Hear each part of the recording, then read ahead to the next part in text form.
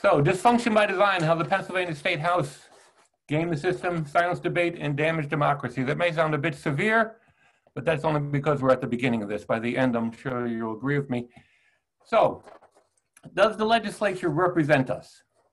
Some people think they do, some people think they don't. Uh, I'm going to present a case that uh, they don't really represent us at all. And the example I'm going to use is uh, in the last four years, uh, fair districting has had a number of legislative efforts that have gone nowhere, despite significant uh, support from many quarters, including, sorry. All right, I'm gonna have to do it this way, excuse me.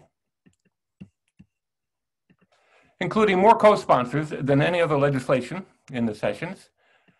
Uh, resolutions by 23 counties, 350 municipalities, and this includes about 70% of the population of Pennsylvania.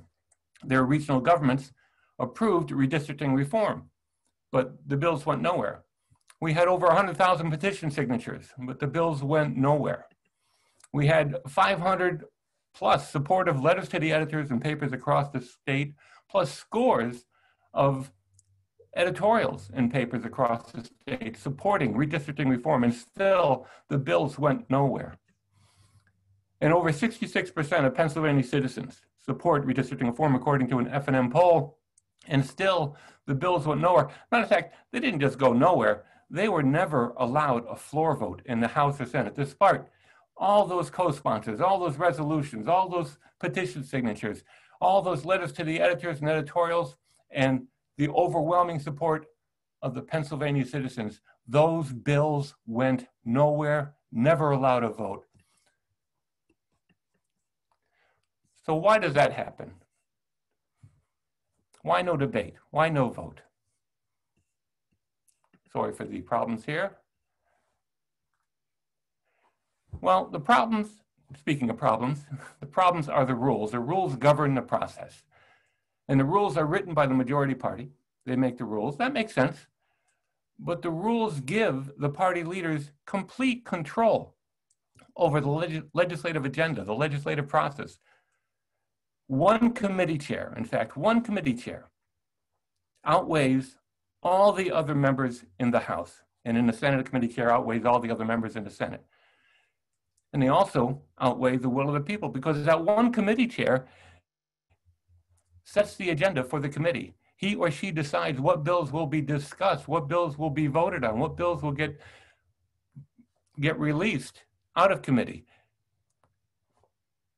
And if the committee chair doesn't want a bill to go anywhere, it doesn't. And also the majority leader, even if the bill gets out of committee, the majority leader or the speaker can derail the legislative process on those bills. They can rule with a whim of iron. They can stop legislation because they don't like the legislator who proposed it. They can do it for ideological reasons. They can do it because they have contributors who don't want that bill to go through and they serve their purpose rather than the public's. And this creates an unchecked power and a dangerous imbalance. And again, these three positions, committee chair, majority leader, or speaker, control the process, control the agenda, and are the reason we want the rules to be reformed. Now, these same three positions, members of those positions, in those positions will often talk about transparency and accountability. Well, it's time to start, stop talking about transparency and accountability and to do something about it. Now, the first thing the legislature does is they vote on the rules for the session. And basically, our legislators surrender their ability, ability to represent us on the first day of the session. First day of the session, House Resolution 1, the rules are introduced. And there's no time for review. Last, uh, last session, it was over 60 pages. They were introduced on the first day of the session, voted on that same day. Nobody reviewed that. There's no public input. There's no even way to have public input on it. And in 2019, before they passed HR 1, they passed HR 2. And what was HR 2?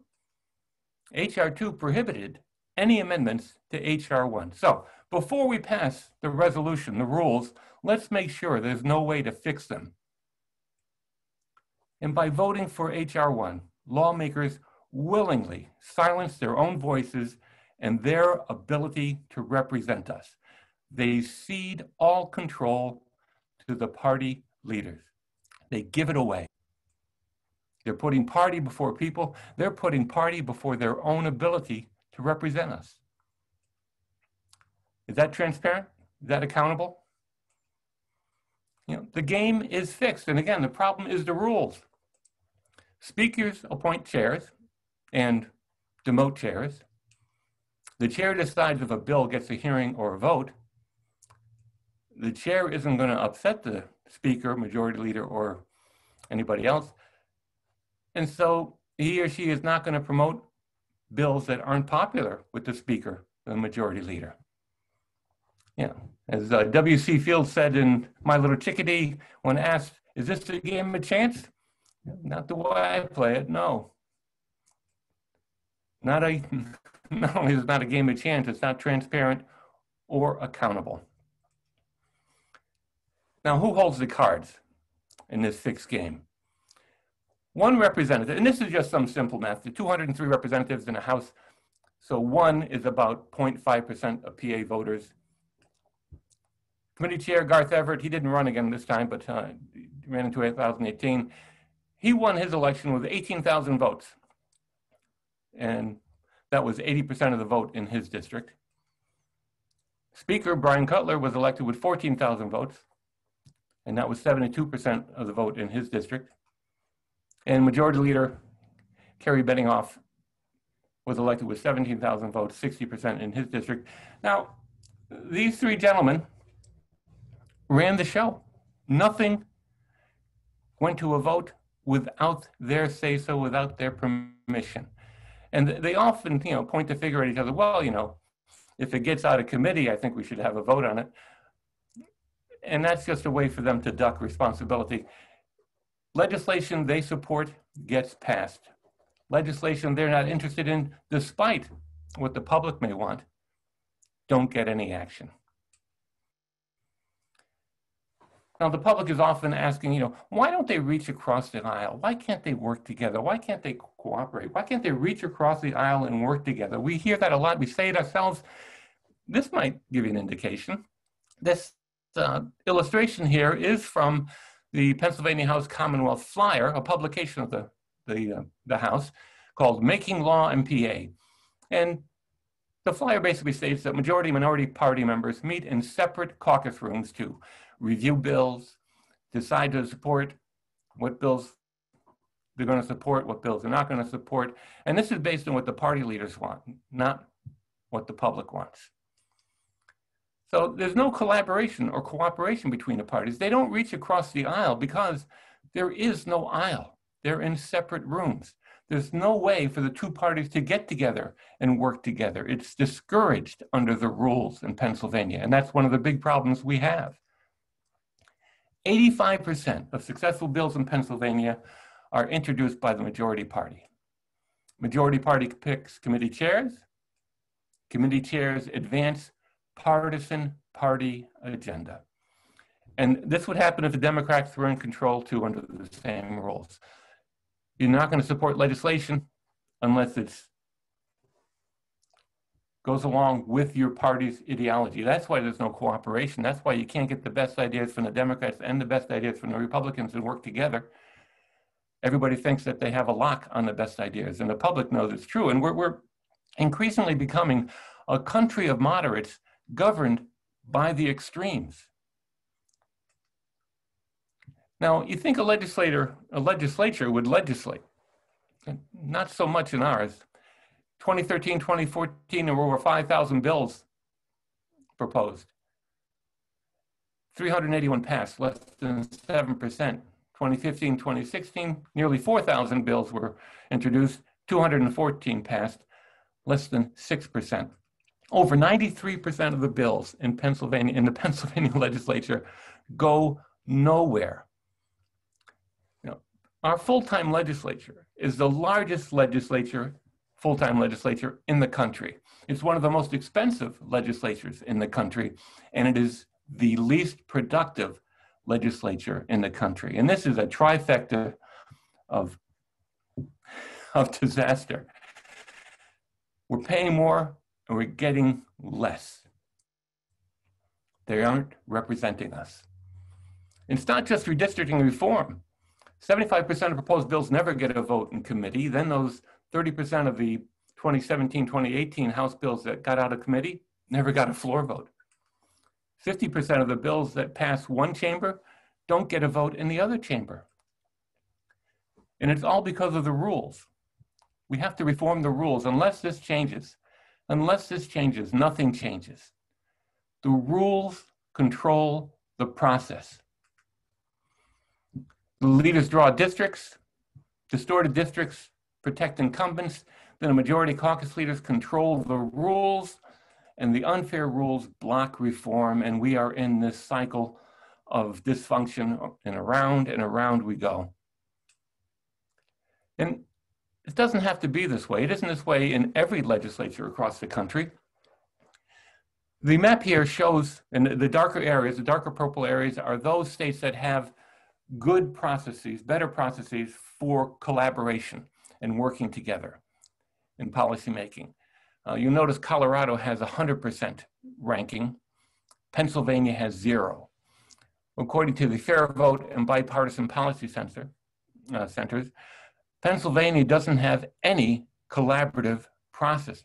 There's no way for the Republicans and the Democrats to work together, to compromise, to pass legislation that the public wants. Four years, Fair District PA's popular legislation for redistricting reform went nowhere. Four years in the Pennsylvania legislature. Colorado passed redistricting reform in 28 days. The bills were introduced in April 2018. They were passed unanimously, unanimously in May. And then voter referendum in November, 71% of the vote. Very popular legislation. The people wanted it, and this legislature delivered. Pennsylvania, we have similar numbers. We're almost 71% of the public supports redistricting in Pennsylvania. But our legislature ignores it. They don't care what the people think. Committees where bills go to die. the chairs, again, control the committees. Most bills are ignored. Chairs send one bill to another committee to die. Now, imagine a bill getting some movement in a committee. The chair could just reassignment. And this gives the impression of something happening. Oh, we thought it was better controlled in that committee over there, so we sent it over there. I can't help it if they didn't do anything. Not my fault. Not transparent, not accountable. And there are other ways to hammer democracy too. Majority leader can deny a vote to any bill reported out of committee. So even if a bill gets out of committee, still gets killed. Bills passed in one chamber can be denied and are denied a vote by majority leader in the other chamber. It's not transparent or accountable. And issues ignored, I mean, this is a serious issue. Pennsylvania has a serious issue with lead poisoning, forgive me. And there are 18 Pennsylvania cities that have a higher level of lead exposure than Flint, Michigan. 18 cities. And this map shows, and those, uh, the dark red are those counties that have serious lead point, not serious, higher levels of lead, uh, blood levels in, in childhood, in children's blood than the rest of the state. And the legislature does nothing about it. Now, in, in 2015, 2016, there were proposals for lead bills, including uh, uh, lead testing for institutions, serving younger children, lead abatement assistance task force to study the lead problem in Pennsylvania, mandated lead testing as part of real estate sales and Pennsylvania sales. Those bills were introduced in 2015, 2016. None of them got a vote. None of them got a vote. Those same bills are introduced in 2019, 2020. I'm sorry, 2017, 2018. None got a committee vote. Couldn't get out of committee. 2019, 2020, bills were introduced again, same bills are introduced again. None got a vote out of committee. And what, what I want to know is who is in favor? Who is in favor of lead poisoning? That we can't get bills out of committee. Now, it's not that they're completely useless. The, the legislature in 2019, the House did pass a resolution. They passed a resolution, meaningless, but they passed a resolution to recognize Lead Awareness Week. That resolution passed a month after the proposed week had passed. The legislature can't get the lead out. And again, who watching this webinar is in favor of lead poisoning? Doesn't have to be this way. It's the rules. If we can change the rules, we can change this process. Some rules changes that might make a difference, and these are just suggestions. Uh, you know, guarantee a vote in committee for bills with strong bipartisan support. Why not? They have strong bipartisan support. You can define that by X number of committee members from each party support it. Give it a vote. We're not saying automatically pass stuff. We're saying give him a vote. Let's find out where our legislators stand. They are ducking responsibility by never voting on these issues that are important to us. Guarantee a vote in the chamber floor for strong bipartisan bills that get voted out of committee. Again, once it gets voted out of committee, Speaker can make sure it never gets voted on. Bills of strong bipartisan support that pass one chamber should get a vote in the other chamber. Why not? What's wrong with that? What's wrong with the What's wrong with our representatives standing up and voting on these issues that are important to us? Legislative leaders aren't the least bit motivated to decrease their power. The only way it will change is if voters demand it. After all, this is a democracy. That's stirring words. That's wonderful. Uh, 1996, Keystone Capers opinion. Uh, the voters have to demand this change. It's been too long. It's been too long. No matter what issue is important to you, whether it's, it's you know, property tax reform, health care, uh, internet access in rural areas, whatever issue is important to you, if we don't have a responsive legislature, it doesn't matter. Nothing changes unless this changes. Good bills de- deserve a vote. Reform the rules. And what I hope you do with this information before we get into some questions is I hope you talk to your legislators, your local legislators. And, and one of the things I would, I would love to have you ask them and, and, and let fair districts know what their response is. Ask them why, on the first day of the session, they would willingly vote to strip themselves of any power they have to represent us by voting for the rules as they're currently structured. Why would they do that?